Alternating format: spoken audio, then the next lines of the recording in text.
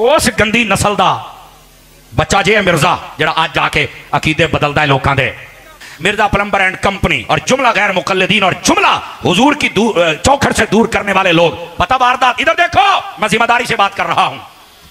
نبی پاک علیہ السلام کی ایک حدیث ہے، میرے آقا کریم نے فرمایا، لا تتخذوا قبری عیدا، وفی روایت لا تجعلو قبری عیدا۔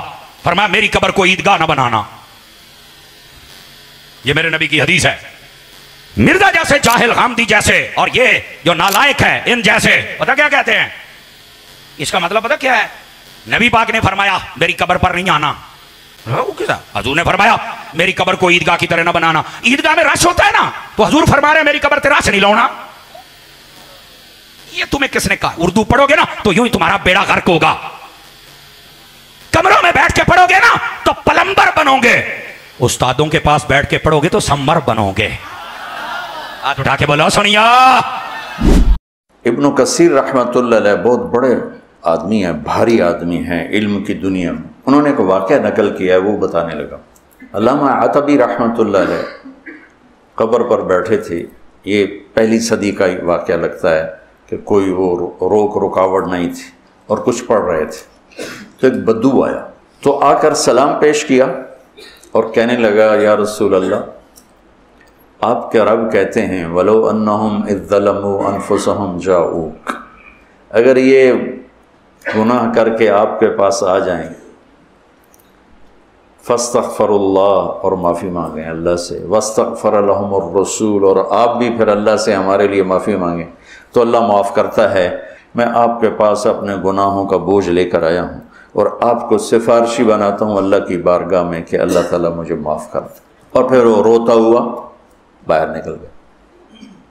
علامات بھی وہ ایک دم نیند آ گئی گٹ گٹ تو خواب میں اللہ کے نبی کا دیدار ہوا کہا تبھی جاؤ اس بدو کو خوشخبری دے دو کہ تیری فریادیں پہنچیں اور تیری بخشش ہوگی۔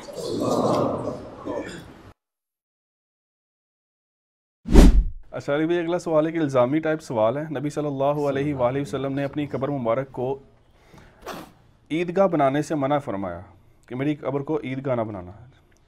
تو اس کا مفہوم بریلوی علماء یہ بیان کرتے ہیں کہ اس سے مراد یہ ہے کہ کبھی کبھار آنے پر اکتفا نہ کرنا، آتے رہنا۔ کیونکہ عید جو ہے، وہ سال میں ایک دو بار ہی آتی ہے۔ میرے نبی نے فرمایا، میری قبر کو عیدگاہ نہ بنانا۔ کیا مطلب؟ اے ترجمہ، پہلا سنی، دو ترجمہ نے پہلا سن۔ اس کا پہلا ترجمہ یہ ہے فرما لوگو، میری قبر کو عیدگاہ کی طرح نہ بنا لینا۔ عیدگاہ میں تم دو مرتبہ جاتے ہو، اس کے بعد تم نہیں جاتے ہو۔ عیدگاہ خالی رہتی ہے۔ میری قبر کو کبھی خالی نہ چھوڑنا! اوہ ہائے ہو کنگن پوری سواد آگے ہے۔ اور اگلی بات، اگلی! فرمایا، عیدگاہ میں تم دو مرتبہ اس لیے جاتے ہو کہ تمہاری دو عیدیں ہوتی ہیں۔ اوہ میری قبر پہ جب جب پاؤ گے، تمہاری عید ہوتی چلی جائے گی۔ ہائے ہائے ہائے ہائے۔ اوہ اس کا یہ مطلب ہے، لوگوں نے کیا سمجھ رکھا ہے کہ ہم یہ واردات کر کے نبی کے روزے سے دور کریں گے؟ اور نہیں اور نہیں۔ عیدگاہ کی طرح قبر رسول کو خالی نہ چھوڑنا۔ اور عیدگاہ میں جاتے ہو عید والے دن فرمایا میری قبر تے جدو ہونا تو اڈی عید ہو جانی ہے۔ تو یہ الزام کو تھوڑا سا اس یہ مطلب صحیح ہو سکتا تھا۔ اگر اس کے آگے والے الفاظ نہ ہوتے۔ اس کے آگے الفاظ ہیں کہ تم دنیا کے کسی بھی حصے میں درود پڑھو گے اللہ تمہارا درود مجھ تک پہنچا دے گا۔ اس نے پھر عید کا وہ معنی کیا جو ہم کرتے ہیں کہ میری قبر پہ میلہ مت لگانا کیونکہ اگلے الفاظ کی حفاظت کر رہے ہیں۔ اگر اگلے الفاظ نہ ہوتے تو آپ کی بات بالکل ٹھیک تھی کہ میری قبر کو عید نہ بنانا مراد یہ کہ کبھی کبھار نہیں، کثرت سے آیا کرنا۔ اور دوسرا معنی ہے میری قبر پہ میلہ نہ لگانا۔ میلے والے مین مانی ہم اس لیے کر رہے ہیں کہ اس کے آگے الفاظ ہے میری قبر کو عید نہ بنانا، تم دنیا کے کسی بھی حصے میں درود پڑھو گے، اللہ تمہارا درود مجھ تک پہنچا دے گا۔ یعنی درود پڑھنے کے لیے بھی میلہ نہ لگانا، اس غرض میں کہ ہم سلام خود عرض کریں۔ اور تم جدھر بھی ہوگے، میرا سلام میرے تک پہنچے گا، ادھر میلہ لگانے کی ضرورت نہیں ہے۔ یہ مانا اس کے اندر امپلائڈ ہے۔ اور سنسائی میں حدیث ہے، زمین میں فرشتے سے یاد کرتے ہیں، میرے امتیوں کا سلام مجھ تک پہنچاتے ہیں۔ بخاری مسلم میں حدیث ہے، جب تم السلام علیکہ یو نبیو پڑھو گے اور السلام علینا وعلا عباد اللہ صالحین، تو اللہ تعالیٰ ہر نیک بندے تک سلام پہنچا دے گا۔ تو ہمارا جو ماننا ہے نا، وہ فٹ ان بیٹھتا ہے احادیث کے۔ اور یہ یہ پتہ کس نے کیا؟ مفتی عام یہاں نعیمی صاحب نے۔ جال حق میں۔ اچھا انہوں نے جو جو شڑول ماری تھی نا، وہ پکڑی گئی ہے۔ ایک شڑول انہوں نے اور بھی ماری۔ وہ حدیث ہے نا صحیح مسلم ہے کہ مولا علی نے ابو حیاج اسدی تابی کو کہا کہ آ، میں تیری وہی ڈیوٹی لگاتا ہوں جو رسول اللہ نے میری لگائی تھی۔ کہ کوئی بھی اونچی قبر دیکھوں زمین کے برابر کر دوں اور تصویریں مٹا دوں۔ تو کہتے ہیں یہ حدیث تو تھی لیکن یہ ظالم نہیں بتاتے کہ مولا علی نے ڈیوٹی لگائی تھی کافروں کی قبریں نیچی کرنے کی بزرگان دین کی نہیں۔ امام مسلم نے اس کے ساتھ ایک حدیث پہلے لی ہے جس سے انہوں نے کنسیپٹ کلیئر کیا ہے۔ میں نے پمفلٹ میں ڈالی ہوئی ہے کہ double two four Fazala bin Ubaid double two four two ہاں ڈبل ٹو فور ٹو مسلم۔ فضالہ ابن عبید صحابی تھے۔ تو وہ کہتے ہیں جب ہم رومن امپائر سے جنگ کے لیے جا رہے تو روڈس ایک جگہ تھی۔ عربی میں رودس لکھا ہوا ہے، کیونکہ ڈال نہیں ہوتی۔ روڈس آج بھی ہے رومن امپائر وہ اب تو خیر نہیں رہی۔ تو روڈس شہر میں پہنچے تو ہمارا ایک ساتھی فوت ہو گیا، تو انہوں نے اس کی قبر بنوا کے زمین کے برابر کروا دی اور کہا، رسول اللہ، ہمیں یہ حکم دیتے تھے۔ تو وہ کافر تو نہیں تھا، یا وہ صحابی تھا یا تابی تھا۔ تو امام مسلم نے خود ہی بتا دیا کہ مولا علی نے جو آگے ڈیوٹی لگائی ہے، ساری قبروں۔ البتہ ایک ایکسیپشن ہے بخاری میں کہ نبی الاسلام اور ابو بکر عمر کی قبریں اونٹ کی کوہان جتنی یعنی آلموسٹ ایک بالشت اتنی آپ قبر رکھ سکتے ہیں۔ اور اعلیٰ حضرت کی قبر اتنی ہے۔ اور اس سے بڑھ کے ہمارے جو بھائی انڈرسٹینڈ اسلام کا چینل چلا رہے ہیں۔ انہوں نے تو لیاس قادری صاحب کا کلپ چلا دیا ہے جس میں انہوں نے کہا ہے کہ قبروں قبروں کی مارتیں بنانا غلط ہے ایک بالش سے اوپر نہیں ہونی چاہیے اور کچی ہونی چاہیے۔ سبحان الیاس قادری صاحب نے ویڈیو میں کہہ دیا ہے۔ قبر ہے کہ وہ اونٹ کے کوہان کی طرح ہو اور ایک بالش جیسے کچھ زیادہ اونچی ہو یہ سنت ہے۔ ہمارے یہاں چوکور قبریں تو عام ہے یہ چوک کھونٹی بولتے ہیں اس کو۔ یعنی کہ مستطیل، لم چورس بھی بولتے ہیں اس کو۔ یہ مستطیل تو بناتے ہیں۔ یہ بھی نہیں ٹھیک۔ وہ ٹھیک وہی ہے جو میں نے عرض کی سنت کے مطابق اس طرح ہو۔ اونٹ کا کوہان اس طرح ہوتا ہے۔ اونٹ کے اوپر جو گنبد جیسا بنا ہوتا ہے، لمبا لمبا پہاڑ جیسا۔ اس طرح ہونی چاہیے۔ لیکن خود الیاس قادری صاحب کے فضان مدینہ کے نیچے جو حاجی مشتاق قادری ناد خان تھے، ان کی قبر پکی بنی ہوئی ہے۔ اوپر اس نے وہ پورا وہ بنایا بھی ہوا ہے۔ تو یہ بڑی بات چلے، ہم پھر بھی اسلام کہتے ہیں۔ کہہ تو دیا نا، بات تو مان لی حالانکہ میں نے بہت پہلے کہا تھا کہ اعلیٰ حضرت کی قبر جو ہے وہ ایک بالی سے زیادہ اونچی نہیں ہے۔ لوگ نہیں مانتے تھے۔ تو چلے آپ مان لیں۔ ابن کثیر رحمۃ اللہ علیہ بہت بڑے آدمی ہیں، بھاری آدمی ہیں، علم کی دنیا میں۔ انہوں نے ایک واقعہ نقل کیا ہے، وہ بتانے لگا۔ علامہ عطبی رحمۃ اللہ علیہ قبر پر بیٹھے تھے۔ یہ پہلی صدی کا واقعہ لگتا ہے کہ کوئی وہ روک رکاوٹ نہیں تھی اور کچھ پڑھ رہے تھے۔ تو ایک بدو آیا۔ تو آ کر سلام پیش کیا اور کہنے لگا، یا رسول اللہ آپ کے رب کہتے ہیں، ولو انہم اذ انفسہم جاؤک اگر یہ گناہ کر کے آپ کے پاس آ جائیں فاستغفر اللہ اور معافی مانگیں اللہ سے، واستغفر لهم الرسول اور آپ بھی پھر اللہ سے ہمارے لیے معافی مانگیں۔ تو اللہ معاف کرتا ہے، میں آپ کے پاس اپنے گناہوں کا بوجھ لے کر آیا ہوں اور آپ کو سفارشی بناتا ہوں اللہ کی بارگاہ میں کہ اللہ تعالیٰ مجھے معاف کر دے۔ اور پھر وہ روتا ہوا۔ باہر نکل گیا علامات بھی وہ ایک دم نیند آ گئی بیٹھ بیٹھ تو خواب میں اللہ کے نبی کا دیدار ہوا کہ آتبی جاؤ اس بدو کو خوشخبری دے دو کہ تیری فریادیں پہنچیں اور تیری بخشش ہوگی۔ اب آ رہی ہے میرے بھائیوں وہ آیت۔ آپ دیکھیں کہ یہ پورا کانٹیکسٹ آیت نمبر ساٹھ سے شروع ہوا ہے سورت النساء کی، کہ منافقین اپنے فیصلوں کے لیے تاغوت کے پاس جاتے تھے یعنی یہودیوں کے پاس۔ اور ان کے سامنے جا کے کہتے تھے کہ ہم اوپر اوپر سے تو مسلمان ہوئے ہیں، لیکن اندر سے تمہارے ساتھ ہیں۔ تاکہ کل کو اگر نعوذ باللہ اسلام کی دعوت ناکام ہوئی تو ان کے پاس واپسی کا کوئی پلیٹ فارم موجود ہو۔ اور نبی الاسلام کے سامنے آ کے وہ اللہ کی قسمیں کھا رہے ہیں کہ نہیں، ہم تو وہاں دعوت دینے کے لیے گئے تھے۔ یہ ساری آیات آپ نے سن لی۔ سورہ النساء کی آیت نمبر ساٹھ سے لے کر سکسٹی تھری تک۔ اب اس کانٹیکسٹ میں یہ آیت آ رہی ہے سکسٹی فور۔ منافقین کے بارے میں۔ کلمہ گو مسلمانوں کے بارے میں، جو قانوناً صحابی بھی تھے، کیونکہ باقیوں کو تو نہیں پتا تھا کہ انہوں نے اندر سے ایمان قبول کیا یا نہیں۔ حتیٰ کہ بخاری اور مسلم دونوں میں آتا ہے، کئی بار حضرت عمر نے اجازت مانگی عبداللہ ابن ابئی کے بارے میں کہ یا رسول اللہ اجازت دیں، اس کی میں گردن کاٹ دوں۔ یعنی اگر حضرت عمر کو یہ سمجھ آ رہی تھی کہ یہ اوپر سے کلمہ گو ہے، اندر سے منافق ہے، تو نبی الاسلام کو نہیں پتا تھا۔ آپ علیہ السلام کو بھی اسیسمنٹ سے پتا تھا۔ اس کے جواب میں اللہ کے نبی الاسلام نے کیا فرمایا؟ بخاری و مسلم دونوں میں حدیث ہے، آپ نے فرمایا، چھوڑ دو عمر۔ لوگ کہیں گے، یہ اپنے صحابہ کو قتل کرواتا ہے۔ یعنی نبی علیہ السلام نے عبداللہ ابن ابئی اور منافقین کو بھی صحابی کہہ دیا۔ یہ الارمنگ پوائنٹ ہے۔ میں اس کی انجینئرنگ نہیں کرتا، پھر آپ لوگوں کو برا لگے گا۔ کہ کلمے کا احترام ہوتا تھا۔ کہ ٹھیک ہے، اوپر سے کلمہ پڑا ہے نا۔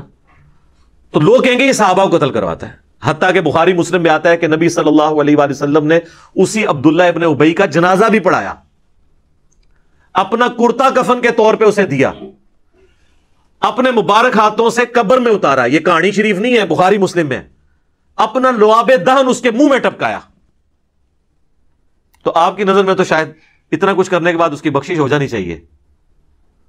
لیکن قرآن میں اللہ تعالیٰ نے سورہ التوبہ میں فرمایا، آپ ستر دفعہ بھی ان کے لیے دعا کریں نا۔ ہم نے ان کی مغفرت نہیں کرنی، ہم نے انہیں معاف نہیں کرنا کیونکہ یہ اللہ اور اس کے رسول کے دشمن ہے اور اے نبی آندہ سے نہ تو آپ نے کسی منافق کا جنازہ پڑھانا ہے، نہ اس کی قبر پہ جا کے کھڑے ہونا ہے۔ بین کر دیا اللہ نے۔ تو یہ پورا کانٹیکس وہ چل رہا ہے کہ منافقین اپنے فیصلوں کے لیے، بعض اوقات اپنی مرضی کا فیصلہ لینے کے لیے، اگرچہ حاکم کے طور پر پولیٹیکل لیڈر کے طور پر، ایک دینی لیڈر کے طور پر بھی اور پیغمبر کی حیثیت سے نبی علیہ السلام کو مانتے تھے۔ اس کے باوجود جب اپنی مرضی کا فیصلہ لینا ہوتا تھا، یہودیوں کے علماء کے پاس جا کے فیصلہ کرواتے تھے۔ پیغمبر کی موجودگی میں مولویوں کا کیا کام ہے؟ کہ آپ جا کے ان سے فیصلے کروائیں؟ اور پھر آپ کہتے تھے، نہیں، یا رسول اللہ، ہم تو وہاں پہ گئے تھے ایک افہام و تفہیم پیدا کرنے کے لیے، ان کو دعوت دینے کے لیے۔ اور اللہ تعالیٰ ہمارا وہ جھوٹی قسمیں بھی کھاتے ہیں۔ اب اس پورے کانٹیکس میں سورہ النساء کی آیت نمبر ساٹھ سے لے کر تریسٹھ تک کے یہ وہ آیت آ رہی ہے، آیت نمبر چونسٹھ اور پینسٹھ، جس کی بنیاد پہ ایک من گھڑت گستاخانہ عقیدہ نبی الاسلام کے بارے میں ان لوگوں نے خصوصاً بریلوی اور اہل تشیع مقادم فکر کے لوگوں نے کر دیا اور اس عقیدے کا باقی امت کو پابند کرنے کی کوشش کی۔ ایون دیوبندیوں کا بھی کسی حد تک یہی عقیدہ ہے۔ سوائے اہل حدیث کے اور لوگوں کو پابند کیا کہ جو اب اس کو نہیں مانے گا نا، وہ گستاخ رسول ہو جائے گا۔ وہ یہ آیت ہے۔ وما ارسلام رسول۔ اور ہم نے کوئی رسول بھی ایسا نہیں بھیجا اللہ مگر یہ کہ لیوطاع باذن اللہ اس کی اطاعت کی جاتی ہے اللہ کے اذن کے ساتھ۔ یعنی وہ رسول خود نہیں کلیم کر رہا ہوتا، اپنی اطاعت۔ آن دا بہاف آف اللہ، وہ لوگوں سے کہتا ہے کہ میری اطاعت کرو۔ کیونکہ شریعت جو ہے، یہ نازل اللہ نے کی ہے۔ پیغمبر شریعت کا موجد یا کریٹر نہیں ہوتا، بلکہ شریعت پہنچانے والا ہوتا ہے۔ اور پھر اس کا کلائمیکس وہ ہے، سورہ النساء کی آیت نمبر ایٹی، آگے چل کے آ جائے گی۔ میں رسول فقد اطاع اللہ، جس نے رسول کی اطاعت کی، گویا اس نے اللہ کی اطاعت کی۔ پھر سورہ عال عمران میں بھی آیت گزری ہے۔ قل ان کنتم تحبون اللہ فتبعونی یحببکم اللہ۔ یہ بھی یہودیوں کے کانٹیکس میں تھی۔ اے نبی تم فرما دو کہ بالفرض اگر تم اللہ سے محبت کرتے ہو نا، اے یہودیوں کہتے ہو ہم اللہ کے چہیتے ہیں، پھر تمہیں میری اتباع کرنی ہوگی۔ اور اتباع کہتے ہیں محبت کے ساتھ کسی کی پیروی کرنا۔ صرف پیروی جو ہے نا، وہ اطاعت ہوتی ہے۔ اتباع ہوتی ہے محبت کے ساتھ پیروی، جنہوں اسی پنجابی کہنا ٹڈو مننا، اندرو مننا۔ پھر اللہ تعالیٰ تمہیں، تم سے محبت کرے گا، یحببکم اللہ، ویغفر لکم ذنوبکم، اور تمہارے گناہوں کو بھی بخش دے گا۔ جو اندر سے رسول اللہ کے ساتھ محبت رکھتے ہوئے اتباع اور اطاعت اختیار کریں گے۔ تو یہاں پہ کہا جا رہا ہے کہ کوئی رسول بھی ایسا نہیں آیا کہ مگر یہ کہ اس کی اطاعت کی جاتی تھی اللہ کے عزت کی وجہ سے۔ یعنی تمام پیغمبروں کا یہی سٹیٹس تھا۔ وَلَوْ أَنَّهُمْ اور اے نبی، جب انہوں نے یہ ظلم کر ہی لیا تھا، یہ پاسٹ ٹینس کا سیگا ہے۔ ماضی کی بات ہو رہی ہے، جس کا کانٹیکس سورہ نساء کی آیت نمبر ساٹھ سے سٹارٹ ہوا ہے کہ یہ تاغوت سے جا کے فیصلے کرواتے تھے منافقین۔ تو اے نبی، اگر انہوں نے یہ حرکت کر ہی لی ہے اور انہوں نے یہ ظلم کیا اپنی جانوں پر کہ آپ پولیٹیکل لیڈر کی حیثیت سے، دینی پیشوا کی حیثیت سے، پیغمبر کی حیثیت سے ان میں موجود ہیں اور یہ اوپر سے کلمہ گو بھی ہیں، اس کے باوجود جا کے یہود کے علماء سے فیصلے کرواتے ہیں تاغوت سے۔ اگر انہوں نے اب ظلم کر ہی لیا تھا اور آ کے جھوٹی قسمیں کھا رہے ہیں کہ ہم تو وہاں گئے تھے فام و تفہیم کے لیے۔ چلے، اب یہ جرم انہوں نے کر ہی لیا۔ انفسہم، اپنی جانوں پر۔ ولو انہم اذ انفسہم اپنی جانوں پہ انہوں نے جو ظلم کر لیا۔ جاؤ کا اب انہیں چاہیے کہ وہ آپ کے پاس حاضر ہو جائیں۔ کس لیے؟ یہ حقوق العباد کا بھی معاملہ ہے نا۔ اللہ کے نبی کا بھی تو حق ہے نا۔ تو پہلے اللہ کے نبی سے آ کے معافی مانگے، ان کے ساتھ غداری کی ہے۔ کیونکہ تم انصار اللہ ہو نا۔ اللہ کے دین کے مددگار ہونا اس پیغمبر کے ساتھ مل کے تو پیغمبر کے ساتھ جو لیڈر بھی ہے تمہارا، اس کے ساتھ غداری کی ہے، آؤ ان کے سامنے فستغفر اللہ اور آ کے اللہ سے توبہ کرو۔ اور صرف اللہ سے توبہ کافی نہیں ہے وسطر لہم الرسول۔ رسول اللہ بھی تمہارے لیے استغفار کریں یعنی سفارش کریں، شفاعت کریں کہ اے اللہ، ٹھیک ہے، انہوں نے مجھ سے بھی معافی مانگ لی ہے، یہ شرمسار ہے، ان کو معاف کر دیں۔ نبی کی شفاعت بھی ہو لوجد اللہ طواب الرحیم تو یہ ضرور اللہ کو توبہ قبول کرنے والا اور رحم فرمانے والا پائیں گے۔ اس کو پکڑ کے انہوں نے آج کی ڈیٹ میں لگا دیا اور کہا جی جا کے قبر رسول سے جا کے اپنے نا گناہ معاف کروائیں۔ اندازہ کرے کہاں سے بات اٹھائی۔ یہ وہ آیت تھی جی سورہ النساء کی آیت نمبر سکسٹی فور، جس کے اوپر انہوں نے پورا عقیدہ کھڑا کیا۔ ولو انہم ظلموا انفسہم جاؤ کا اور جی قرآن میں اللہ تعالیٰ نے فرما دیا ہے کہ جب کوئی اپنی جان پر ظلم کر لے، رسول اللہ سے آ کے شفاعت کروا لے، تو کہتے ہیں، دیکھیں جی آپ بعد والی امت کو محروم کرنا چاہتے ہیں، اتنی بڑی فضیلت سے۔ صحابہ کرام تو اپنی مبارک زندگیوں کے اندر جا کے حضور سے دعا کروا لیتے تھے، آج امتی کیا کرے؟ تو آج قبر پہ جائے۔ اے خود ہی کہانی بنا لی ہے۔ قبر پہ جائے اور جا کے عرض کرے۔ اور یہ عقیدہ بریلوی دیوبندی شیعہ تینوں کا مشترکہ ہے۔ صرف اہل حدیث اس عقیدے کو درست نہیں سمجھتے۔ اب یہ دھوکہ دینا کہ جی آج کے لوگ کدھر جائیں جی؟ شفاعت کے لیے صحابہ کرام تو اتنا فائدہ اٹھا لیا انہوں نے۔ آج کے امتی کیا کریں سر؟ آپ کے بارے میں بھی اللہ کے محبوب صلی اللہ علیہ وآلہ وسلم کی حدیث ہے صحیح مسلم میں کہ جو اذان کا جواب دے، اس کے بعد مجھ پہ دروشری پڑے۔ اللہ صلی علی محمد علی محمد۔ اور پھر الوسیلہ والی دعا مانگے تو قیامت والے دن میری شفاعت اس کے لیے حلال ہو جائے گی۔ اس کے لیے قبر رسول پہ جانا ضروری نہیں ہے۔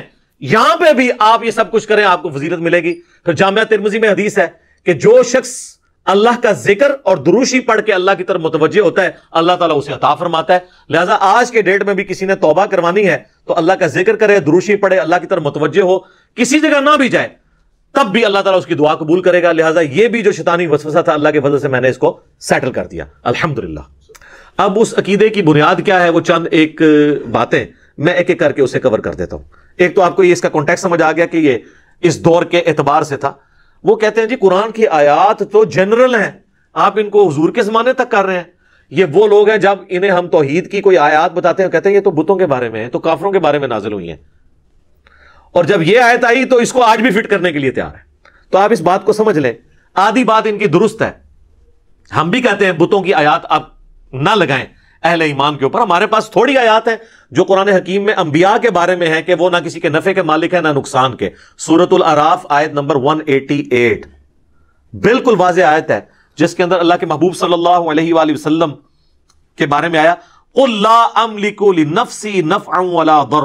نبی، تم فرما دو، میں تو اپنی جان کے لیے بھی کسی نفع اور نقصان کا مالک نہیں ہوں اللہ ما شاء اللہ ہاں مگر جو اللہ میرے لیے فیصلہ کرتے۔ وَلَوْ كُنْتُ أَعْلَمُ الْغَيْبِ اور اگر میں خود غیب جان لیتا لَسْتَكْثَرْتُ مِنَ الْخَيْرِ تو میں بہت خیر کثیر جمع کر لیتا، وما مَسَّنِيَ السُّوء اور مجھے کبھی کوئی تکلیف نہ پہنچتی۔ جب مجھے پہلے ہی پتا چل جاتا کہ میرے ساتھ یہ معاملہ ہونے والا ہے، میں کوئی اس کا تدارک کر لیتا۔ ان انا اللہ نذیر ہوں بشیر، میں تو نہیں ہوں مگر ڈر سنانے والا اور خوشخبری سنانے والا۔ لقوم یؤمنون، ان کے لیے جو بات ماننا چاہیں، ایمان لانا چاہیں۔ تو یہ واضح قرآن میں آ گیا ہے، تو اس کی بات تو ضرورت ہی نہیں ہے۔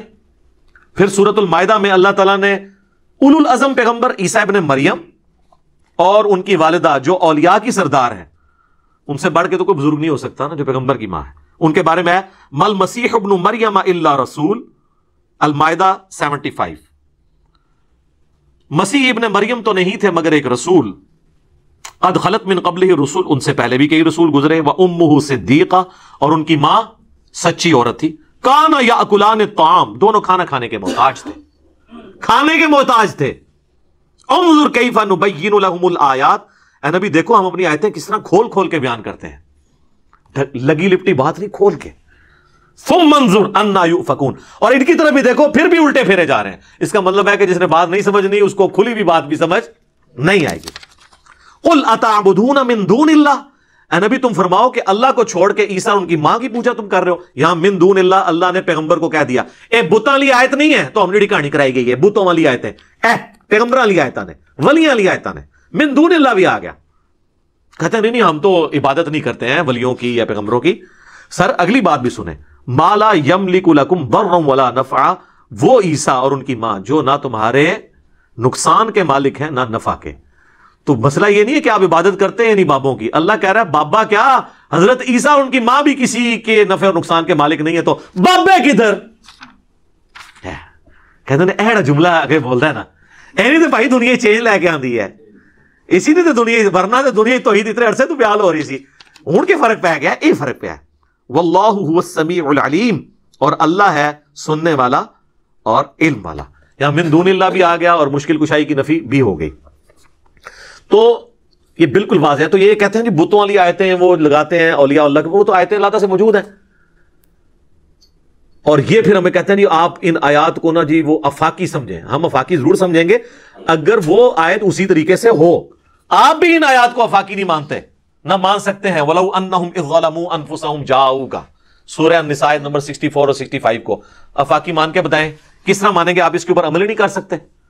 اس اعتبار سے جو آپ سمجھتے ہیں۔ یہ دو چیزیں آپ سمجھ لیں۔ یہ بنیادی چیزیں۔ ایک ہوتی ہے سیاق و سباق، جسے ہم کہتے ہیں کانٹیکسٹ کہ اس آیت کے اندر جو حکم بیان ہوا ہے، یہ کس پس منظر میں اس کا کانٹیکسٹ کیا ہے؟ وہ قرآن کے اندر ہی موجود ہوتا ہے۔ قرآن اپنے کانٹیکسٹ میں کسی حدیث کا محتاج نہیں ہے۔ دوسری چیز ہوتی ہے شان نزول۔ شان نزول یہ ہوتا ہے کہ یہ کن حالات میں آیت نازل ہوئی۔ اس سے کوئی فرق نہیں پڑتا، اس کا حکم اینڈ پہ وہی رہتا ہے۔ اس کو میں مثال سے سمجھاتا ہوں۔ ٹریفک سگنل میں گرین کے اوپر چلنا ہے اور ریڈ پہ رکنا ہے۔ اس کا بھی تو کوئی شان نزول ہوگا نا، کسی کے دماغ میں یہ بات آئی ہوگی کہ گرینری جو ہے وہ پتے گرین ہوتے ہیں، یہ پازیٹو علامت ہے، لہذا ہم اس کے اوپر ٹریفک چلا دیتے ہیں اور بلڈ کا کلر ریڈ ہوتا ہے، اس ریڈ پہ ہم رک جاتے ہیں۔ اگر اس کی آپ تحقیق کر کے شان نزول ڈھونڈ بھی لیں تو اینڈ ریزلٹ تو وہی رہنا ہے کہ گرین پہ چلنا ہے اور ریڈ پہ رکنا ہے۔ یہ سمجھتے ہیں کہ شان نزول سے شاید اس کے الٹ رزلٹ نکل آئے گا۔ مثلا ایا کا نعبدو و ایا کا نستعین کے شان نزول سے یا شیخ عبد القادر جلانی مدد ثابت ہو جائے۔ نہیں ہونا پائی، کیونکہ سورہ النساء کی آیت نمبر 82 ہے۔ اگر قرآن اللہ کے سوا کسی اور ہستی کی طرف سے نازل ہوا ہوتا، تم اس میں اختلاف کثیر پاتے۔ کہ پہلے صفحے پہ اور لکھا ہوا ہے اور تین سو صفحے پہ جا کے اور لکھا ہوا ہے۔ اگر پہلے صفحے پہ لکھا ہے نا ایا کا نعبدو و ایا کا نستعین اب پورے قرآن میں اس کے خلاف کوئی آیت نہیں آئے گی۔ اس کی تشریح میں آ سکتی ہے۔ جس نے سورہ المائدہ میں آیا، وَتَعَاوَنُوا عَلَى الْبِرِّ وَالتَّقْوَى وَلَا تَعَاوَنُوا عَلَى الْإِثْمِ وَالْعُدْوَانِ نیکی پر کے کاموں میں ایک دوسرے کی مدد کرو، برائی میں نہ کرو۔ ظاہری اسباب آپ اختیار کر سکتے ہیں۔ اس میں تو حکم ہے۔ وہ مفتی اکمل صاحب نے کتاب لکھی، اس میں لکھتے ہیں کہ کیا امی سے روٹی مانگنا بھی شرک ہے؟ یہ بھی اللہ سے مانگنی چاہیے۔ دیکھو بھئی قرآن کہہ رہا ہے، مانگو امی سے روٹی، وَتَعَاوَنُوا عَلَى لیکن اما مار جائے، پھر تری روٹی انہیں تو دینی۔ یہ قبر ہی ٹر جائے، یہ سامنے موجود نہ ہوئے۔ یہ غائب میں پکارنا اللہ کے ساتھ خاص ہے، اور یہ اس لیول کا خاص ہے کہ اللہ تعالیٰ نے سورہ النمل میں یہ عقیدہ امت کو دیا ہے کہ جو اللہ کے سوا کسی ہستی کے بارے میں عقیدہ رکھتا ہے، خدا اس کو بنائے بیٹھا ہے پھر وہ۔ ہاں جی ام یجیب المضطر اذا دعا۔ بلا بتاؤ تو کون ہے جو تکلیف میں گھرے ہوئے شخص کی فریاد کو سنتا ہے؟ وہ یکشف السوء، اور اس سے اس کی برائی دور کر دیتا ہے۔ وہ یجعلکم خلفاء الارض اور تمہیں اگلوں کا خلیفہ کرتا ہے زمین پہ۔ تمہارے ماں باپ کے مرنے کے بعد تمہیں، تمہارے مرنے کے بعد تمہاری اولاد کو۔ مع اللہ، کیا اللہ کے ساتھ کوئی اور الہ بھی ہے جو یہ کام کر سکے؟ قلیل ما تذکرون۔ لیکن تم بہت کم ہی نصیحت حاصل کرتے ہو۔ کہتے ہیں جی منع کدھر ہے؟ یہ منع ہے جی سورہ نمل کی آیت نمبر 62 میں۔ ادھر کہتے ہیں نہیں، وہ تو ہے اللہ ہی سے مانگتے ہیں۔ یہ تو نہیں آیا، کسی اور سے نہیں مانگتے۔ جی یہ بھی آیا ہوا ہے، سورہ نمل کی آیت نمبر 62 اگے ٹورو تو پتہ لگے نا۔ بارش کون برساتا ہے؟ اللہ۔ ڈیوٹی کس کی ہے؟ فرشتوں کی۔ اگر فرشتوں سے بارش مانگیں گے تو۔ مشرق۔ بخاری مسلم میں آتا ہے، بارش نہیں ہوتی تھی تو نبی الاسلام سلاط الاستسقاء پڑھتے تھے۔ آپ نے کبھی نہیں کہا کہ المدد یا میکائیل، آپ کی ڈیوٹی اللہ نے لگائی ہے، بارش نازل فرماتے ہیں یہ صحابہ کرام کبھی یہ کہتے ہوں؟ نہیں۔ لہذا یہ جھگڑا نہیں ہے کہ مولا علی کو اختیار ہے یا نہیں شیخ عبد القادر جلانی کو اختیار ہے یا نہیں کسی فرشتے جن کو اختیار ہے یا نہیں ہے۔ اختیار ہو تب بھی آپ کسی اور کو پکارتے ہیں جو آپ کے سامنے موجود نہیں ہے۔ یا فوت ہو چکا ہے یا جس سے آپ کمیونیکیٹ نہیں کر سکتے۔ تو یہ شرک ہو جائے گا۔ تو یہ اس آیت کو کہتے ہیں کہ جی یہ دلیل ہے کہ آپ جا کے قبر رسول پہ مانگیں۔ عجیب۔ اور پھر اس کے لیے پھر وہ جھوٹے سہارے لیتے ہیں۔ وہ کہتے ہیں جی تفسیر ابن کثیر میں ایک روایت موجود ہے۔ وہ اگلے دن تارے جمیل صاحب بھی بیان کر رہے تھے۔ تارج می صاحب کا بچاروں کا کیا قصور ہے؟ ان کے بڑوں نے، تقی عثمانی کے والد صاحب جو مفتی شفیع تھے معرف القرآن میں انہوں نے بھی یہ نقل کی ہے۔ اور احمد ابرلوی صاحب کا جو ترجمہ کنز ایمان، اس کی جو شرح لکھی کی خزائن الرفان انہوں نے بھی نقل کیا ہے۔ اور ابن کثیر سے نقل کیا، ابن کثیر لکھ کے چلے گئے ہیں۔ ایک بے سند روایت، نہ انہوں نے اس کی کوئی سند بیان کی۔ بھائی، ابن کثیر تو آٹھویں صدی ہجری میں آئے ہیں، جب تک وہ سند نہیں پوری کرتے نبی اسلام تک کسی واقعے کی۔ ہم اسے کیسے مان لیں؟ کہ جی نبی اسلام کی وفات کے بعد ایک پینڈو شخص تھا، کوئی آرابی تھا، وہ قبر رسول پہ آیا اور اس نے کہا، یا رسول اللہ، قرآن میں حکم آیا، ولو انہم اذ ظلموا انفسہم جاؤ کا تو میں نے اپنی جان پہ ظلم کیا، میں آپ سے دعا کروانے کے لیے آیا ہوں۔ تو ایک اور شخص وہاں بیٹھا تھا، اسے اونگ آ گئی، وہ خواب میں حضور اسلام آئے اور کہا، اس کو بشارت ہو کہ تجھے بخش دیا گیا اور میری شفاعت تیرے حق میں قبول کر لی گئی۔ وہ کہتے ہیں، دیکھیں جی قبر پہ جا کے آپ مانگ سکتے ہیں۔ لکھی کہاں ہوئی ہے؟ وہ کہتے ہیں، روایتوں میں آیا ہے۔ اور کوئی تھوڑا سمجھدار ہے، وہ کہتا ہے جی اس طرح کی ایک روایت مصنف ابن ابی شہبہ میں موجود ہے۔ کڈو جی المصنف ابن ابی شہبہ میں روایت ضرور موجود ہے، لیکن سر وہ روایت ضعیف ہے، مالک الدار والی۔ اس میں آمش مدلس ہیں اور ان سے روایت کر رہے ہیں، اور سما کی تصریح نہیں ہے، منقطع روایت ہے۔ صحیح مسلم کے مقدمے میں امام مسلم نے لکھا ہے کہ مدلس کی آن والی روایت سما کی تصریح کے بغیر ضعیف ہوگی، جب تک وہ حدثنا یا اخبرنا بیان نہیں کرے گا، وہ ان سے روایت کر رہا ہے۔ یہ روایت ضعیف ہے۔ مالک الدار والی کہ وہ حاضر ہوئے قبر رسول پہ، ولو انہم ظلموا انفسهم جاؤ کا پھر انہیں اونگ آ گئی نبی الاسلام خواب میں آئے۔ فرمایا، عمر کو جا کے میرا سلام کہنا۔ اور اسے کہنا کہ سختی نہ کرے، ان قریب اللہ تعالیٰ تمہیں سراب کرے گا۔ اور یہ پیغام کس کو جا کے دے رہے ہیں؟ حضرت عمر کو۔ جعلی روایت ہے۔ حضرت عمر کو پیغام دیتے تو آگے کیا ہونا تھا؟ وہ میں آپ کو بعد میں بتاؤں روایت ہی جعلی ہے۔ یہ ایسا ہوا ہی نہیں ہے۔ اس میں تدلیس ہے۔ اور اگر وہ کہتا ہے، میں نے اس قانون کو نہیں ماننا، محدثین کے۔ تو پھر ہم اسے پھکی دیتے ہیں کہ مسند امام احمد میں ایک حدیث ہے جو مشکات میں بھی موجود ہے، اس میں سیم سکم ہے۔ یہ تو آمش تو بہت چھوٹا ہے۔ ایک تابی ہے حسن بصری، ستر صحابہ کا شاگرد۔ وہ ان سے روایت بیان کر رہا ہے کہ نبی الاسلام نے فرمایا کہ جو شخص اپنے جاہلی نصب پر فخر کرے، اسے کہو کہ تجھے بڑا فخر ہے نا اپنے نصب پہ۔ اپنے باپ کی شرم گاہ کاٹ کے اپنے منہ میں رکھ لے اور یہ بات کنائے سے نہ کرو ڈائریکٹ اس کو کہو کہ تو اپنے باپ کی شرم گاہ کاٹ اپنے منہ میں رکھ۔ کیا رسول اللہ ایسی بات کر سکتے ہیں؟ یہ بھی روایت ضعیف ہے۔ پھر اس کو بھی صحیح مانو۔ آمش تو چھوٹا ہے۔ حسن بصری تو بہت بڑا ہے۔ اس کی بھی ہم، آن والی روایت سما کی تصریح کے بغیر نہیں مانتے کیونکہ مدلس ہے۔ تو مانو اس روایت کو، اپنا ایمان برباد کرو۔ قرآن تو کہہ رہے ان خلق عظیم نبی تو اعلیٰ ترین درجے پہ ہیں اخلاقیات کے۔ وہ یہ بات کریں گے۔ بخاری اور مسلم دونوں میں حدیث ہے، ابو سعید خدری کہتے ہیں، نبی الاسلام میں ایک پردہ نشین کواری لڑکی سے زیادہ شرم و حیا تھی۔ تو یہ پردہ نشین کواری لڑکی یہ گفتگو کر سکتی ہے؟ تو یہ کہانی ہے ساری۔ اب آج حضرت عمر کی طرف، جنہوں نے متھے مارنے کی کوشش کی تھی رشا جناب، حضرت عمر کے بارے میں صحیح بخاری میں one zero one zero number حدیث ہے۔ کتاب الاستسقا چیپٹر میں۔ وہ کہتے ہیں، اللہ تعالیٰ سے دعا کرتے ہوئے ان نا کن نا نتوسل کا بھی نبی اللہ، بے شک پہلے پہلے ہم تیرے نبی کو وسیلہ بنا کے لاتے تھے تیری برکاہ میں۔ یعنی جب بارش نہیں ہوتی تھی تو حضور کو لے کے آتے تھے، حضور ہمیں نماز پڑھاتے تھے، حضور کی دعا کی برکت سے بارش نازل ہوتی تھی، صلی اللہ علیہ وسلم۔ ہم اب حضور کے چچا عباس کو لے کر آئے ہیں، ہم پہ بارش نازل فرما دیں۔ عباس کی دعا کی برکت سے انس ابن مالک کہتے ہیں بارش شروع ہو جاتی۔ حضرت عمر کو کسی نے نہیں پوچھا کہ یا امیر المومنین، یہ پینڈو پینڈو لوگ جا کے تو قبر رسول سے جا کے بارش مانگ کے آ رہے ہیں۔ آپ خلیفہ الرسول ہیں سیکنڈ نمبر پہ، آپ خلیفہ راشد ہیں۔ ایک پینڈو کو بات سمجھ آئی بھی آپ کو نہیں آئی بھی وہ پینڈو آئی کوئی نہیں سی تھے وہ کہانیاں نے ساریاں اور میں نے جو اس میں ایکسپلور کی ہے نا چیز کہ بخاری اور مسلم دونوں میں حدیث ہے کہ صلح حدیبیہ کے موقع پر جب پانی کم پڑ گیا جابر بن عبداللہ کہتے ہیں کہ نبی الاسلام کی مبارک انگلیوں سے چشمے پانی کے جاری ہوئے ایک پیالے کے اندر رکھے تو وہ تابی پوچھتا ہے کہ آپ لوگ کتنے تھے؟ انہوں نے کہا، ہم پندرہ سو تھے، لیکن اگر ہم ایک لاکھ بھی ہوتے ہیں نا، وہ پانی زیادہ تھا جو حضور کی مبارک انگلیوں سے جاری ہوا۔ موجزہ اور صحیح مسلم میں حدیث ہے کہ ایک سفر میں حضرت عمر نے حضور کو یہ مشورہ دیا، یا رسول اللہ، آپ کی تو دعا کی برکت سے پانی نازل ہو جاتا ہے، تھوڑا سا پانی زیادہ ہو جاتا ہے۔ تو انہوں نے ایک برتن میں نا پانی جمع کر کے حضور کو دیا، حضور نے بیچ میں ہاتھ رکھا، پھر پانی کے چشمے جاری ہو گئے۔ اچھا یہ اس لیے کیا جاتا تھا کہ کریشن ایکس نہیلو جو ہے نا، عدم ماں سے وجود، یہ صرف اللہ دے سکتا ہے۔ حضور نے جب کبھی بھی کیا ہے نا، تو کھانا پکا ہوا ہے تو اس پہ دعا کی تو برکت ہوئی ہے۔ کچھ نہ کے بغیر کچھ نہیں ہوا۔ پیالہ بھی تھوڑا سا پانی آیا تو اس میں ڈالا ہے۔ خالی پیالے میں ہاتھ ڈالنے سے نہیں پانی نکلا۔ کیونکہ یہ اللہ کی خصوصیت ہے۔ آج نئی بات لے جائے۔ علمی باتیں آپ کو اسی پلیٹ فارم سے ملیں گی۔ اور صحابہ کو اس بات کا پتا تھا کہ خالی پانی نہیں کر سکتا۔ تو وہ جمع کر کے لے یار اس تھوڑے سے منٹ کر دیں آپ تاکہ پانی کے چشمے جاری ہو جائے۔ یہ اللہ نے فرق رکھا ہے۔ موڑے بھی جناب اتنے انلمیٹڈ نہیں ہوتے۔ اچھا۔ تو حضرت عمر کے سامنے یہ موڑا ہوا ہے۔ حضرت عمر نے تو نہیں کہا کہ یا رسول اللہ آپ ہاتھ مبارک باہر نکالیں اور یہ میں پیالہ لے کے آئے ہوں، آپ سیراب کر دیں۔ بخاری میں وہ کہتے ہیں، انا کننا نہ تبسلو الہی کا بھی نبی نہ لیکن یہاں پہ بریلوی اور دیوبندی آپ کو کیا کہانی کروا رہے ہیں؟ وہ کہتے ہیں کہ جی وہ فضائل حاج میں شیخ زکریہ کاندلوی نے لکھا ہے اور فضان سنت میں الیاس قادری صاحب نے دونوں بھاری فرقے بریلوی اور دیوبندی لکھتے ہیں کہ جی پانچ سو پچپن ہجری میں نبی الاسلام کی وفات کے ساڑھے پانچ سو سال بعد شیخ احمد رفائی جب قبر رسول پہ حاضر ہوئے اور آگے وہاں ناتیہ شار پڑے اور کہا، یا رسول اللہ، میں اتنی دور مصر سے آیا ہوں، آپ اپنا مبارک ہاتھ قبر سے نکالیں، میں زیارت کرنا چاہتا ہوں بوسا دینا چاہتا ہوں۔ نوے ہزار لوگوں کی موجودگی میں کہتے ہیں، قبر رسول سے ہاتھ باہر نکلا اور انہوں نے ان کو بوسا دیا اور کہتے ہیں، ان نوے ہزار لوگوں میں شیخ عبد القادر جلانی کا نام بھی ذکر کیا جاتا ہے۔ پہلے تو مجھے بتائیں عبد القادر جلانی نے ہاتھ کیوں نہیں چوما؟ اتنی گستاخی کہ اللہ کے نبی کا ہاتھ نکلے قبر سے۔ میرے سامنے نکل رہا ہو تو میں تو بدبخت ہوں کہ میں یہ منظر دیکھ رہا ہوں۔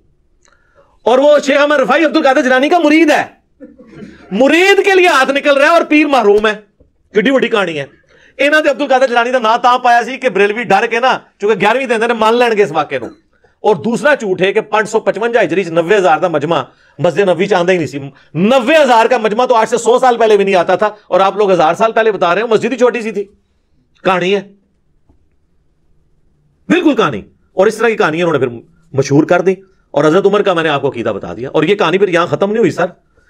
المحنت علی المفند میں انہوں نے نبی الاسلام کے بارے میں لکھا کہ ہم حضور کو اپنی قبر کے اندر دنیاوی زندگی کے ساتھ مانتے ہیں۔ دنیاوی زندگی، حالانکہ وہ آخرت کی ہے۔ اللہ تو شہید کے بارے میں کہہ رہا ہے ولا اللہ تشعرون۔ شہید زندہ ہے، لیکن تمہیں اس کا شعور نہیں ہے۔ یہ کہتے ہیں نبی الاسلام کی دنیاوی ہے۔ سر، دنیاوی ہے تو پھر سانس، ٹوائلٹ، کھانا پینا کدھر گیا؟ اور اعلیٰ حضرت تو ایک سٹیپ آگے گئے ہیں نا جی جب الفظات میں۔ انہوں نے کہا کہ یہ اتنی حقیقی اسی دنیاوی ہے کہ قبر میں، قبروں میں انبیاء پہ بیویاں، ان کی ازواج متحرات پیش کی جاتی ہیں، وہ ان کے ساتھ شباشی بھی فرماتے ہیں۔ یہ کہتے ہیں اس میں کون سی گستاخی ہے؟ اپنی بیوی کے ساتھ ہی صحبت کر رہے ہیں۔ گستاخی یہ ہے کہ آپ نے رسول اللہ پہ جھوٹ باندھا ہے۔ بخاری مسلم دونوں میں حدیث ہے اور مولا علی سے یہ حدیث، مسلم کی پہلی حدیث یہ ہے۔ جس نے میری طرف کوئی جھوٹی بات منسوب کی، وہ اپنا مقام جہنم میں دیکھ لے۔ یہ کس جگہ لکھا ہوا ہے کہ رسول اللہ کی قبر مبارک میں یہ سب کچھ ہو رہا ہے؟ مسند احمد میں حدیث ہے، مشکات کے اندر بھی۔ اما عائشہ کہتی ہیں، جب سے عمر یہاں دفن ہوئے میں تو پردے کے بغیر قبر کے پاس نہیں جاتی ہوں۔ اس سیدہ عائشہ کے سامنے کوئی یہ کہنا کہ اس قبر کے اندر بیویاں پیش ہو رہی ہیں، تو آگے آپ دیکھ لیں۔ اور ہاتھ نکلوا رہے ہیں۔ یہ ہاتھ سیدہ فاطمہ کے لیے کبھی نہیں نکلا۔ یہ ہاتھ حضرت عائشہ کے لیے کبھی نہیں نکلا۔ یہ جنگ جمل صفی نہروان کو رکمانے اس کو مینج کرنے کے لیے کبھی نہیں نکلا۔ وہ زیادہ حقدار تھے اور سب سے بڑھ کر یہ کہتے ہیں کہ قبر رسول پہ جا کے مانگنا اور فیصلہ کرانا، یہ قرآن میں ہے۔ ولو انہم انفسہم جاؤ کا ان سے کہیں کہ قبر رسول پہ اگر یہ فیصلہ کروانا تھا، سب سے ضروری فیصلہ تو صحابہ نے کروایا نہیں ہے، جس کی وجہ سے امت آج تک دو ٹکڑے ہیں۔ ثقیفہ بنی سائدہ حضرت علی نے بخاری مسلم میں آتا ہے، چھ مہینے تک ابو بکر کی بیعت نہیں کی ہے۔ تو کسی کے دماغ میں وسوسہ بھی نہیں آیا کہ چلیں ہم جا کے قبر رسول سے فیصلہ کروا لیتے ہیں۔ ابھی میت مبارک بھی دو دن تک باہر تھی، باہر سے ہی فیصلہ کروا لیتے ہیں۔ فدق کا ایشو آیا، بخاری مسلم میں آتا ہے، سیدہ فاطمہ کا۔ کہیں حضرت ابو بکر نے ان کو مشورہ نہیں دیا آ کے قبر رسول سے جا کے فیصلہ کرواتے ہیں، بعد میں احمد رفائی نے تو کروانا ہی ہے۔ ٹھیک ہے، کروانا چاہیے تھا نا، یہ کہتے ہیں کہ آج کی ڈیٹ میں بھی آپ نے حاکم ماننا ہے۔ تو آج کی ڈیٹ میں اگر حاکم ماننا ہے، تو چیف جسٹس مدینے کا حضرت عمر نے حضرت علی کو کیوں لگایا؟ مدینہ شریف کے فیصلے تو قبر رسول پہ ہونے چاہیے تھے نا۔ آئے ہائے، کیسی پکی ہے؟ چلو رومن اور پرشین امپائر تھے ٹھیک ہے، اور رومن امپائر دے ہوتے ابن مسعود نو لا چھڑیا ابو دردا کو، اور پرشین امپائر پہ ابن مسعود کو۔ مدینہ میں چیف جسٹس کیوں لگایا حضرت علی کو؟ قبر رسول سے فیصلے ہوتے نا، یہی کہہ کے جی کہ آپ کو فیصلوں میں حاکم نہ مان لیں۔ تو یہ خود بھی نہیں مانیں گے وہ کہ نہیں نہیں کمیونیکیشن نہیں آج ہو سکتی۔ تو اگر آپ خود بھی نہیں اس کمیونیکیشن کو ماننے کے لیے تیار، اور الٹا جو بندہ آپ کو سمجھاتا ہے، کہتے ہیں، گستاخی کر رہے ہیں گستاخی تو آپ کر رہے ہیں، رسول اللہ کے اوپر جھوٹ باندھ رہے ہیں۔ اور صحابہ کرام تو حضور کی زندگی میں یہ قیدہ نہیں رکھتے تھے۔ بخاری اور مسلم دونوں میں حدیث ہے، ستر صحابہ کو دھوکے سے شہید کر دیا گیا۔ جن میں آسم بن ثابت انصاری تھے، جب وہ مرنے لگے، شہید ہونے لگے تو انہوں نے کہا، اے اللہ، ہمارے نبی کو ہمارے حال کی خبر کر دینا۔ ہم تجھ سے راضی ہیں اور تو ہم سے راضی۔ اس حال میں ہم موت کے منہ میں جا رہے ہیں۔ ہمارے نبی کو ہمارے حال کی خبر کر دینا۔ اور بخاری کے الفاظ ہیں، جبرائیل علیہ السلام نے آ کے حضور کو بتایا کہ آپ کے ساتھیوں کو یوں قتل کر دیا گیا ہے۔ اور انہوں نے مرتے مرتے یہ آپ تک پیغام پہنچایا ہے۔ انہوں نے حضرت جبرائیل کو بھی نہیں کہا، اللہ کو کہا۔ اور اللہ نے جبرائیل کو بھیجا۔ جب حضور دنیا میں موجود تھے تو صحابہ یہ نہیں کہتے تھے بولو جاؤ کا تو یا رسول اللہ، انظر حال آنا نہیں۔ جب سامنے ہوں گے پھر آپ کریں گے۔ کہتے ہیں جی بخاری میں حدیث ہے، ایک صحابی کی پنڈلی ٹوٹ گئی۔ حضور کے پاس آیا تو آپ نے ہاتھ پھیرا۔ اور یار مرزات کو آپ بعد کی زندگی کے ساتھ کیسے کر رہے ہو؟ اور اگر آپ یہ مانتے ہو تو ٹھیک ہے، اپنی پنڈلی پھر۔ تیار ہو توڑوانے کے لیے۔ جناب، کروڑوں لوگوں کا اگر عقیدہ ٹھیک کرنے کے لیے کسی عاشق رسول کو اپنی پنڈلی توڑوا کے قبر رسول پہ جا کے ٹھیک کروانی پڑتی ہے تو آ جاؤ۔ یہ جب بات کریں گے نا تو کہیں گے جی پھر آپ کعبے چلے جاؤ، اللہ سے کروا لو۔ بھائی اللہ کا تو دعویٰ ہی کہیں نہیں ہے۔ اللہ نے تو دنیا اسباب کے ساتھ جوڑی ہے۔ کابج بھی کرین ڈگی سی نا۔ اس کابج تو اس تو بہت بڑا کام ہوا ہے۔ جزید پلید نے خانہ کعبہ شریف دی حرمت پر مال کی ہے۔ صحیح مسلم میں موجود ہے۔ دنیا کو اللہ نے بقدر ایفرٹ چھوڑا ہوا ہے۔ اللہ کا کہیں، آپ کا یہ دعویٰ ہے کہ بزرگوں کی ڈیوٹی ہیں، فلانے کی ڈیوٹی ہے۔ تو قبر رسول صلی اللہ علیہ وآلہ وسلم پہ جا کے اپنی پھر پنڈلی کی ہڈی کو ٹھیک کروا کے بتائے اگر یہ ہڈی توڑوا کے ٹھیک کروانے سے کوئی معاملہ عقیدے کا کسی کا درست ہوتا ہے تو یہ تو کہتے ہیں ہم حضور کے لیے جان دینے کے لیے تیار ہیں، ایک پنڈلی کی قربانی کرے نا کوئی عالم دین کو عاشق رسول۔ سب سے بڑا عاشق رسول ڈھونڈے ہڈی ہم نہیں توڑتے، ہمیں تو رحم آئے گا، کسی مشین پہ توڑوائیں گے۔ اور اس کے بعد لائیو بلائیں گے کیمرہ مینوں کو، تمام میڈیا کے لوگوں کو اور انٹرنیشنل میڈیا کو۔ اور ہم لوگ کہیں گے ہاں جی آپ کریں۔ یہ بالکل جعلی باتیں اب اس میں میں کئی ایک باتیں اور کر سکتا ہوں۔ وہ تو باتیں نہ ختم ہونے والی ہیں۔ میں نے کوشش کی ہے کہ اس طرح کی چیزوں کو کور کروں۔ اس طرح وہ کہتے ہیں جی صحیح مسلم میں حدیث ہے۔ ایک صحابی حضور کو وضو کرواتے تھے۔ آپ نے کہا، مانگ کیا مانگتا ہے؟ سل ربیہ تو حضور سامنے موجود تھے۔ تو آج بھی ہمارا کوئی مسئلہ ہم حضور کے سامنے لے کے جائیں گے۔ انہوں نے کہا، یا رسول اللہ، جنت میں آپ کا پڑوس مانگتا ہوں۔ آپ نے فرمایا، پھر کثرت سجود سے میری مدد کر۔ یعنی خود تو سیدھے راستے پہ چل، زیادہ نفلی عبادت کر، میری دعا تیرے لیے کارگر ہو جائے گی۔ آج یہ ہمیں شعر سناتے ہیں جی آج لے ان کی پناہ، آج مدد مانگ ان سے۔ پھر نہ مانیں گے۔ قیامت میں گھر مان گیا۔ اور وہ کہتے ہیں قیامت میں تو حضور کے پاس ہی جانا جی جانا ہے جناب۔ کیونکہ آپ علیہ السلام سامنے موجود ہوں گے۔ آج بھی نبی علیہ السلام سامنے موجود ہوں۔ ہم سب کچھ آپ کے سامنے جا کے پیش کریں گے۔ کس بات کو کس طریقے سے جوڑتے ہیں؟ اس طریقے سے اگر آپ آؤٹ آف کانٹیکس چیزوں کو جوڑیں گے، پھر تو یہ بڑی زیادتی والی بات ہو جائے گی۔ باقی اس میں کئی اور باتیں بھی کی جا سکتی ہیں۔ لیکن اب وقت ہمارا چونکہ درس کا مکمل ہو چکا ہے، میرا خیال ہے میں نے اتنی باتیں کر لی ہیں، عقل والوں کے لیے اتنی گفتگو کافی ہے۔ بار میں نے ڈیٹیل کچھ ویڈیوز ریکارڈ کرائی ہیں، ان کا میں حوالہ دے دیتا ہوں، وسیلے کے نام پر دھوکا وسیلے کو ہم بھی مانتے ہیں، لیکن وسیلہ اور غیر اللہ سے مدد مانگنا، یہ زمین اسمان کا فرق ہے۔ ایک اور لیکچر ہے، مجھے تم سے شرک کا خوف نہیں۔ ایک اور لیکچر ہے، کس کس سے؟ موسا اور خزر اور ایک ہے، تخت بلکیس کہتے ہیں، بندہ لبو جنہیں وہ سارا تخت بلکیس بندہ لب لیا بے فکر ہو وہ۔ اللہ نے ایک بندہ بھیجا ہے جس نے بندہ لب لیا تو عقیدہ بھی صحیح کرنے واسطے۔ اور ایک اور ہے لیکچر حضرت ویسے کرنے کے اوپر۔ وہ کہتے ہیں ایک روحانی سلسلہ چلتا ہے۔ اس کے ساتھ یہ معاملات ہوتے ہیں۔ یہ وہ ساری ویڈیوز ہیں جو اگر الگ الگ میں ان کے اوپر گفتگو کروں تو تین چار گھنٹے اور لگ جائیں گے۔ یہ آپ ویڈیوز دیکھیں۔ دعا صرف اللہ ہی سے میرا سچ پیپر ہے، وہ بھی آپ پڑھیں تو انشاءاللہ آپ کو سچائی کھل کر سامنے آ جائے گی۔ اللہ تعالیٰ سے دعا ہے جو حق بات میں نے کہی۔ اللہ تعالیٰ ہمارے دلوں میں راسک فرمائے۔ اگر جذبات میں میرے منہ سے کوئی غلط بات نکل گئی تو اللہ تعالیٰ ہمارے دلوں ہی سے اسے دھو ڈالے، ہمیں معاف بھی کر دے۔ ہمیں کتاب و سنت کی تعلیمات پر عمل کر کے دوسرے بھائیوں تک پہنچانے کی توفیق عطا فرمائے۔ سبحانک اللہم و بحمدک۔ اشہد واللہ الہ الا انت، استغفرک و اتوب الیک۔ وما علینا الا البلاغ المبین۔ جزاکم اللہ خیرہ